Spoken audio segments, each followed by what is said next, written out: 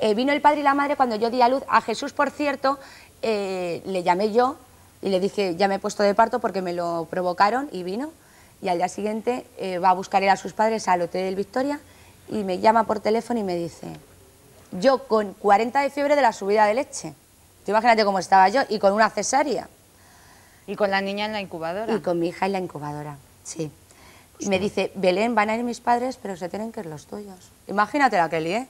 Pero fue ahí donde Pero se que lo pusieron conocieron como tus condición, padres y los sus padres de padres. Jesús, que se no fue en ese momento Vamos a donde se a mí me llamó Jesús y me dijo, Belén, van a ir mis padres, pero los tuyos se tienen que ir. Pero no y, yo le dije, y yo le dije, porque no los querían ver, porque el padre de Jesús se siente avergonzado de lo que hizo. Si yo lo sé, es que es muy fuerte llamar a, la- a mi madre diciéndola que era una puta.